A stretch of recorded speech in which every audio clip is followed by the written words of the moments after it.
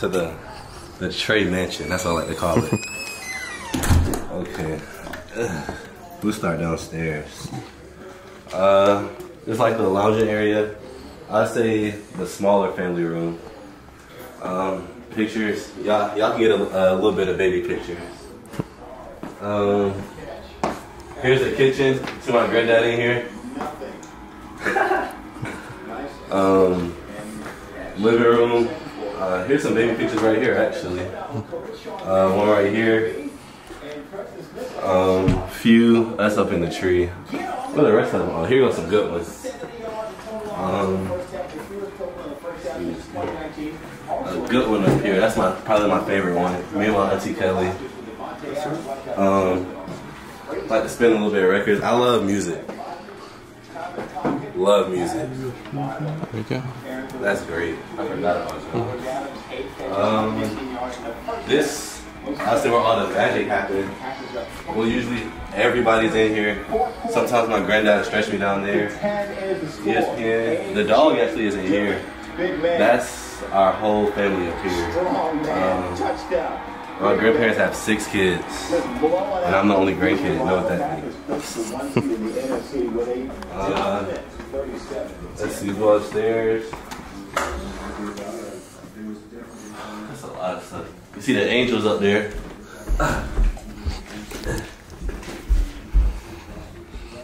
Uh, come in. We'll go to the study room first. If I am home, need to do work, quiet place, come in, close the door, get straight to work. It don't take too long. Get out the way quick. Uh, here's one of the uh, guest rooms. Whenever anybody comes over, sleep in here. Um, I think this is still in here. This is the war room. Um, if you find a war, come and pray. So a lot of big religious stuff in here. Um, come back out. Make that hard left. Here's a closet. Um, here's my room. Sleep too good. Get hot. Put the fan straight on. You see the label? I hope y'all see the label. you see the Georgia label. Um, I don't know if he wants to go in here. Laundry room here. Here's the grandparents' room, the biggest room in the house. Um, not too much in here. They're barely in here themselves. I'm in here more than them. Um, what else? Oh, the backyard. Here goes uh, one right here. Uh, that's probably the only one to be on the stairs. That's my grandmother. Best woman on earth, right there. Uh, what's the backyard? Been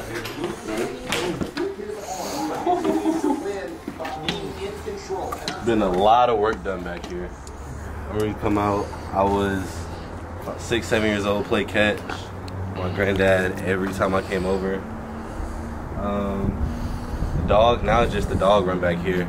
He does a lot of plant work. You can see those up there. He did work on these a lot. He built, um, actually built all that by himself. Made uh, the stand for the swing, bought the swing. Um, we come out here sometimes may run, not too much because it's not level, so it's not really good for my shins. Uh, I saw a bulldog out here. We've been a bulldog. Here it is.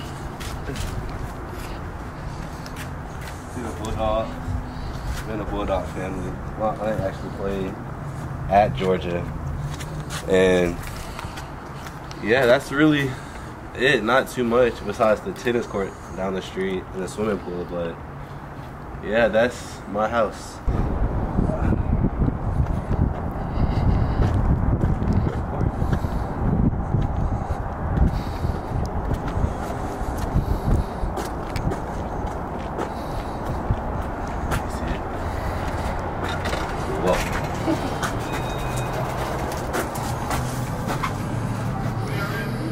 This pinnacle. Welcome back. Everything go down.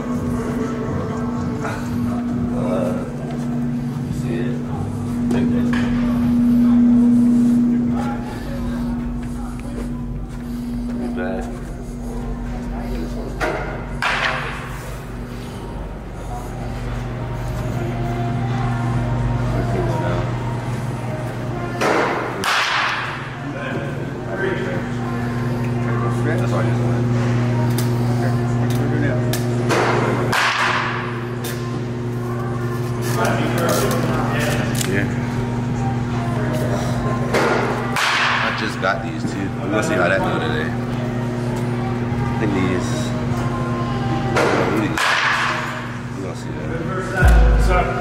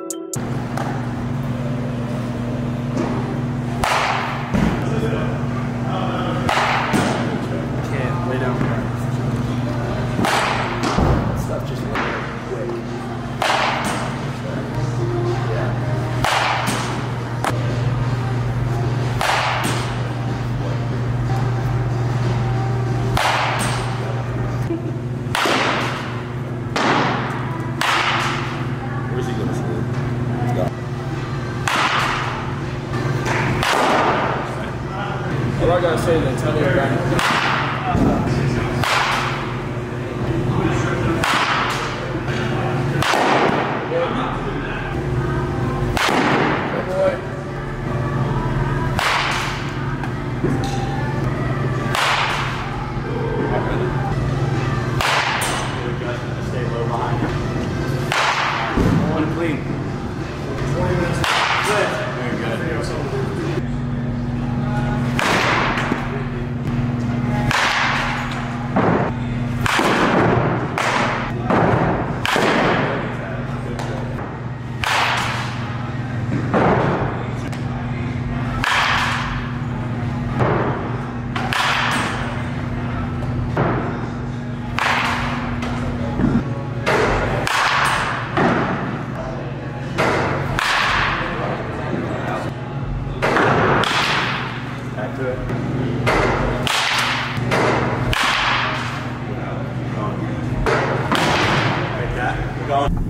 So give me like daily routines and all that. Um, normal day, wake up around seven ish, eat breakfast till about seven thirty. Uh, take care of myself, like brush my teeth, wash my face. School, uh, we got online schooling from eight to twelve. I'm gonna get a snack in between about ten thirty and come back in. Uh, after twelve, uh, lunch. Uh, depending on what the day is, they'll cook it us. Then I go in, take a nap before practice at one, about a 20 minute nap. Get to practice about 12:45. Stretch from about one to one, 120. Uh, infielders, uh, we'll go in, do drills with each other, take ground balls, go outside, long toss for about 10, 20 minutes. And we'll come in, just do T work, drills, uh, front toss for about 40 minutes, uh, about 10 15 minute break, um, granola bar protein before you lift. Depending on the day is what we'll lift. Uh, Monday we'll do chest, Tuesdays biceps, Wednesday shoulders, Thursdays triceps, and Fridays legs. Um, after we lift, coach will throw us BP for about an hour. We split up in different groups. Af- After BP, we'll do a little bit of abs. And depending on the day, we'll do a lot of hard abs and no conditioning, or a little bit of abs and a little bit of conditioning, or no abs and lots of conditioning. After that, we'll have about 15 minutes to clean it up. Um, practice be over, and go in back into the dorms, eat dinner, shower, and after that, really that's just the rest of my day. It'll be about 7:30 by that time. If I have schoolwork that I can do, I'll do a little bit extra so I won't have to stay in school as long. If not, then really just relaxing the rest of the day. Um, may go back in and stretch before I go to sleep. Uh, and after that, the day is all over. Wake up, do it all over again. What do you do other than baseball, like hobbies wise? Um, every now and then, not too often, I, lo- I like to play a little bit PS4. I get on Madden a little bit. Gotcha. What are your I top am the best Yeah. in Madden. There you go. I am the best. Um, nobody see me in Madden, the show, or 2K. Gotcha. Um, if I'm not on the game, I love being with my family a lot. As you can see, uh, to the last two nights, I actually stayed at my grandparents' house, just spending time. It's just a thing I was brought up doing. We have a big family, so just being around them just makes their and my day even just better. Um, if I'm not spending time with family, I, I'll probably be with a friend. I'm a, uh, I have one younger brother um, on my dad's side, but on my mom's side, I'm the only child. So I'm used to like having a lot of people around me. So I may invite two, three friends over, or maybe we'll hang out with them. And besides those three things, that's really it. I wouldn't say I party too much or anything. Um, have I before? Yeah, but that's probably it. I don't do too much outside of baseball. Gotcha. It's not too much to do outside of hmm. baseball. What would you say? When was your first homer? Eh, Every home run? What would you remember? Your first home run? I was six years old hmm. at a field. It's called Hidden Valley in the Atlanta area. We were in coach pitch. I remember like it was yesterday. We played against uh, the name of this, the Gamers. I hit the home run. I didn't even think it was. I was running around the bases like it didn't even happen. And then I got home. My dad was like, "You know, you can stop running, right?" And I, I just, I like, I didn't even think I was paying attention for the rest of the game. I was too happy that I just hit the home run. Gotcha. And then what would you say is like your favorite like baseball memory? Or just anything? Fav- favorite memory? Um, definitely when we were eight. Mm, yeah, when we were eight, we had a World Series game against the Wolfpack. We played.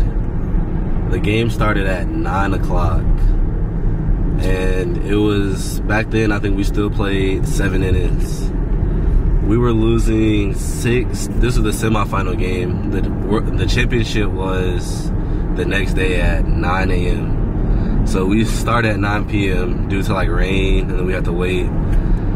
And we were down 6-1 going into the bottom of the last inning. It was we got down to two outs, and somehow three people got walked.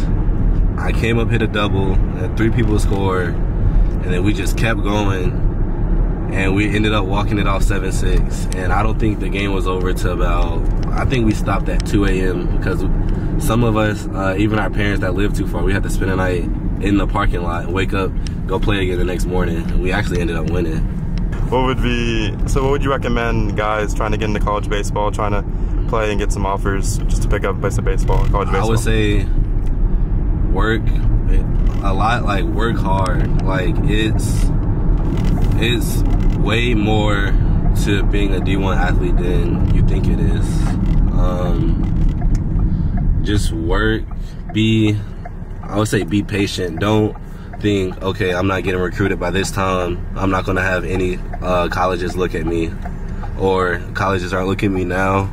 I say work hard but be patient at the same time.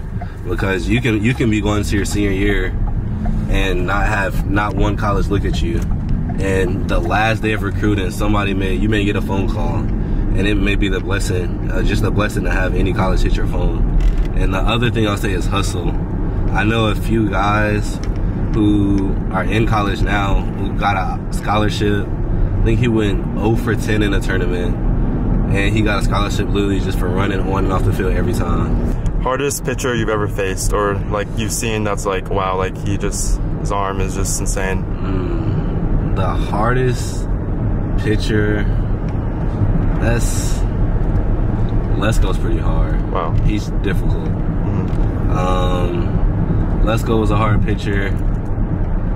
Um, James Hayes. Gotcha. Uh, he's also going to Georgia. James is pretty hard. Riker, um, Riker Chavis is pretty hard. He's a crafty lefty. Those are probably the top three Gotcha. that I had to go against. Is there anything you want to talk about or anything, or it special? Um, Maybe to the youth or anything? to the youth, um, I want to say,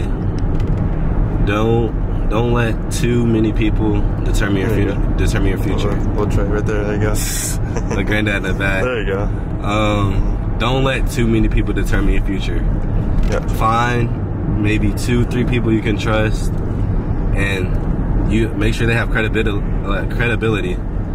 Make sure you can trust them, Gotcha. and you want to stay with those guys. You don't want to be everywhere doing um, with anybody, just doing whatever you think could be the best at that moment. It may not be um, what works straight off the rip, but if you got trust in them, just trust them and sit back and enjoy your time. What would you say like motivates you to like play baseball and just in life in general? My dad plays a big part. He played baseball himself. I, I still remember to this day um, going out every single day after school. And at the time, I was just like, "There's no way, like, there's no way we're doing this." Like, I just, I didn't, I liked baseball, but I didn't love it. So then, I would say my dad probably plays the biggest, the biggest role. Um, even to this day, he's still, because he, he was my, he's been my coach every year, my travel ball coach every year and I can always depend on him if I need if I need something. That's the bump. If I need something um, baseball related. Another person is my mom. She'll she'll support me. I could have the worst game of my life. I know I can talk to my mom about it. I can have the best game of my life. I'm gonna hear my mom in the stands. You may hear from the parking lot. Gotcha. Um, and also my grandmother. She's she's always she's probably the biggest religious person I know. And just that part, like even being religious is part of the game to me. Um, you gotta know like who you're doing it for, who has your back through everything. And sh- I know she'll always be there.